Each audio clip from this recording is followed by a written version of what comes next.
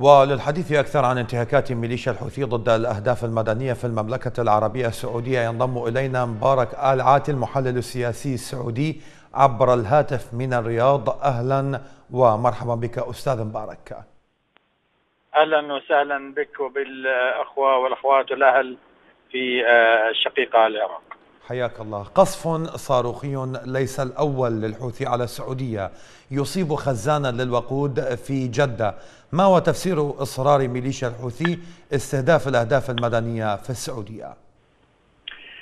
أه بداية أستاذ فيه يعني معطيات جديدة في المنطقة علينا أن نشير إليها. مع أقل هذه المعطيات اليوم وجود السفير الإيراني الجديد اللواء حسين أورلي وهو من الحرس الثوري انتهاء الانتخابات الأمريكية وانتهاء ما عرف بتبنيج الأزمات في المنطقة. إضافة إلى ذلك هناك آه، تقدم ملحوظ ونجاح آه، حققته الجيش الوطني اليمني على على تمرد الحوثي في آه، في مأرب وفي الجوف وهذه نعم. التقدمات الكبيرة التي تزامت مع انهزام أو على الأقل تأثيرات في صفوف التمرد الحوثي أراد التمرد أن أن يوسع أو على الأقل ينقل آه، المعركة إلى ما زعم داخل الأراضي السعودية. في وقت في وقت نجد أن إيران اليوم تحاول أن تعيد الملف للتحريك مع قدوم سيد جديد للبيت الأبيض.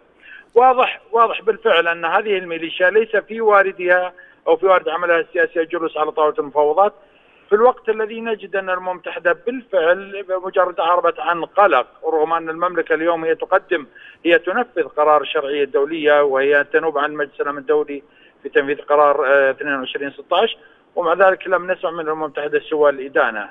ولذلك بات لزاما على التحالف العربي أن يعود من جديد لقطع اليد الإيرانية من الحديدة تحديدا.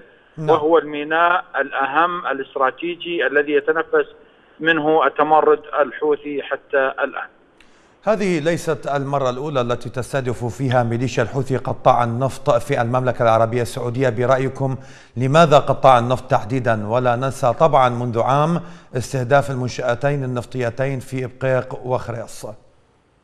سؤال منطقي جدا وخصوصا اليوم أن دول العالم يعني معتمدة كثيرا في اقتصادياتها على عصب اقتصاد النفط والتمرد الحوثي يريد أن يحقق على الأقل ما يزعم أنه مكاسب ولو كانت إعلامية من خلال لفت انظار العالم عبر ضرب يعني منصات نفط أو أي منشأة نفطية هو يريد بالفعل أن يحقق مكاسب إعلامية فقط. وعلى أرض الميدان نجد أن هذا هذا العدوان يعني ولله الحمد كان محدودا جدا في التأثير استغرق 40 دقيقة تقريبا حتى يتم الانتهاء منه ولذلك بالفعل هو يثير آه، آه، لا أقول فرقعات لكنه يريد لفت الانتباه عبر المنصات الإعلامية. لكن على أرض الميدان بالفعل متطلب عمل ميداني قوي جدا ورأينا الهج... ردة الفعل من التحالف العربي الليلة الماضية في تدمير مستودعات وخزائن الأسلحة الحوثية شرق صنعاء. هناك هجمات منسقة وعمليات عسكرية محدودة ومنفذة ينفذها التحالف العربي. آه، نأمل بالفعل أن يعود التحالف العربي بعيدا عن أي مفاوضات سياسية للضرب بيد من حديد آه، من جديد خصوصا أن التمرد الحوثي استغل ما عرف بالهدنة على الحديدة وعاد ليمثل تهديد للملاحة البحرية في البحر الأحمر. طيب أين تقف إيران من هذه الهجمات في وقت تعاني فيه اقتصاديا من وطأة العقوبات الأمريكية؟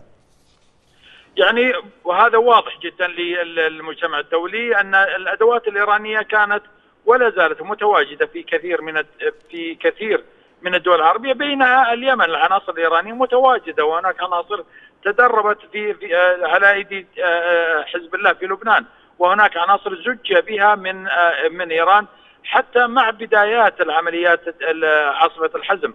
ولا يزال يعني حتى وصول السفير الإيراني اليوم عبر تهريبه عبر أحد الطائرات الامم المتحده ليؤكد بالفعل أن التهريب لا يزال متوا... التهريب الايراني لا يزال متواجد. وهذا يتطلب حقيقة من كثير من القوى الدولية أن تخرج من الملف اليمني أو على الأقل تتيح المجال للتحالف العربي بأن يعود من جديد لتنفيذ مهماته في الساحل الغربي و ان أن آه، يؤمن الملاحة البحرية في باب المندب وفي البحر الأحمر ومن طيب. ثم يقطع الشريان الذي يتم من خلاله آه، التهريب وتغذية التمرد عبر ميناء الحديدة أو عبر رأس عيسى أو الصليب. هل تتوقع ضرب رأس الحربة والمدبر الحقيقي للهجمات المستمرة على قطاع النفط من الولايات المتحدة الأمريكية أم أن الأمر بات مستبعدا بعد قرار آه، الأخيرة سحب القوات التي تحدث عنها وزير الدفاع الأمريكي الجديد؟ معطيات الواقع حقيقة توحي بأن هناك تحرك. جولة آه، آخرها جولة وزير الخارجية مايك بومبيو والتي شملت عدد من الدول العربية ما في المملكة العربية السعودية و و و ولا يزال أعتقد أنه اليوم غادر المنطقة مما يعني أن هناك على الأقل مفاوضات سياسية. الأمر الآخر نشر قطع حاملة الطائرات الأمريكية في مضيق هرمز.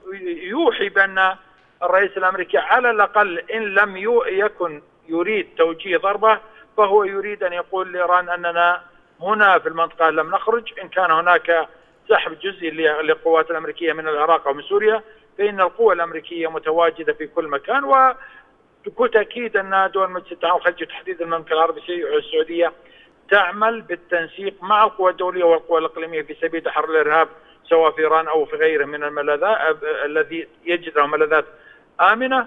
نحن على اعتاب مرحلة جديدة حتى وإن تبقى للرئيس ترامب يعني 60 يوما لكن ربما تكون مفصلية آه، الخيارات يبدو لي انها متاحة أمام البيت الأبيض ومفتوحة ولم يستبعد نعم. أي خيار. المحلل السياسي السعودي مبارك آل عاتي كنت معنا عبر الهاتف من الرياض شكرا جزيلا لك